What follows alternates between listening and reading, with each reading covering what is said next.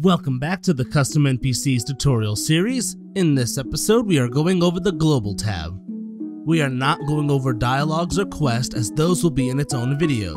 We also are not going over banks or transports as those will be explained in the roles and jobs video. In the factions menu, we create new factions or manipulate existing ones. I believe it is a common misconception that the only factions are aggressive, friendly, and neutral. Those are just the default ones created in every world. You can make your own factions. Click add to create a faction. At name, you change the name of the faction. The ID is the permanent number assigned to this faction.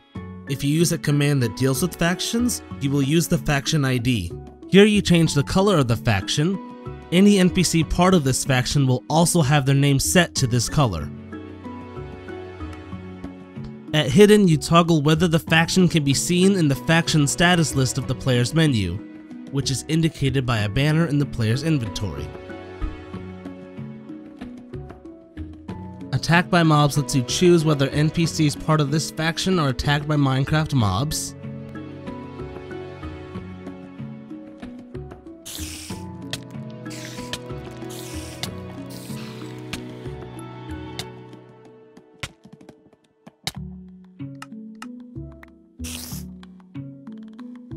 At Hostile Factions, there is a list of every other faction.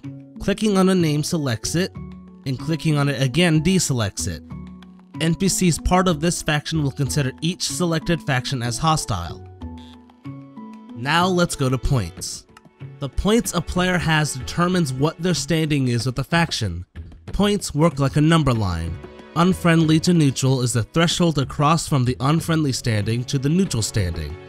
Neutral to friendly is a threshold to cross from neutral to friendly. Players cannot damage NPCs that they are friendly with. NPCs who they are unfriendly with will be aggroed on sight by the player. NPCs who the player is neutral with will not be aggroed on sight, but they can be hit and will be aggroed if the player hits them. You can define those threshold values here. The points always work from unfriendly to neutral to friendly. If you set the neutral friendly threshold to be lower than the unfriendly to neutral threshold, the mod will be confused and you'll end up with weird behavior. The default value up here is the default amount of points the player has with that faction. So, with these default settings, the number line would look like this.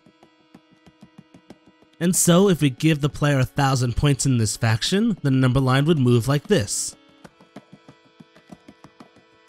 If we take away 2000 points, then it would look like this. Side note, there is no such thing as joining a faction. All you can change are the amount of points a player has with any faction.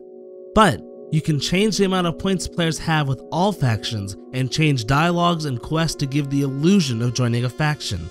Lots of custom NPCs is faking it. It doesn't really matter what happens on the behind the scenes what matters is what the player sees on the front end of it. All custom NPC player information is stored in the player data menu. That includes what dialogues the player has read, the quests they have done, quests they have active, what transports are available to them, the items stored in banks and their faction points, etc. etc. Select a player from the list, then click on Quest,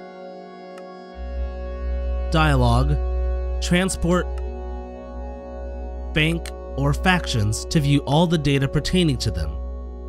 You can delete them from the player data for testing purposes. For example, if you have a dialogue that can only be read before a quest is completed, you can delete that quest from the player data so that you can read the dialogue again. Or, if you have changed the default points for a faction, you have to delete the points from the player data so that it resets to the new default.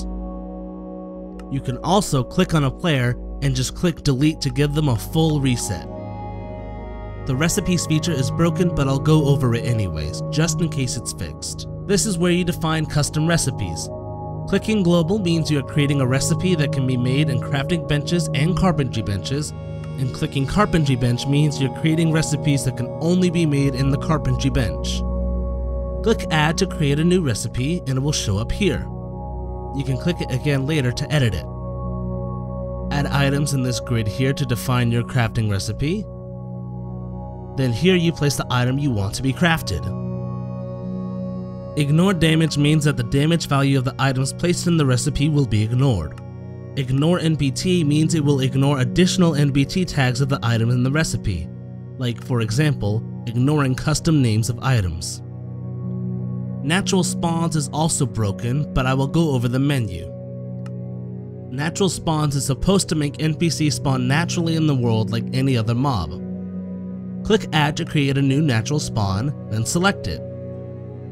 Change the name of it here, choose what biomes they spawn in,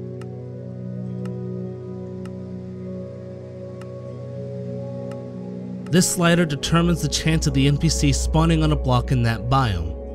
It compares this to all other natural spawns you have, so a natural spawn with a weighted chance of 50 is more likely to be spawned than a natural spawn with a weighted chance of 5. Clicking select NPC will bring up the clones list. Select a clone to be naturally spawned. Type lets you choose whether the NPC spawns in light or darkness.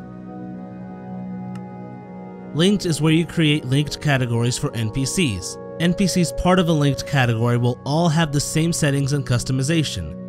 If you change one NPC, you change them all. Click Add to create a link category. Click Remove to remove it. There are no settings to change here. Go to the Advanced tab video for more information. And that is most of the features of the global tab. In the next episode, we will be going over roles and jobs.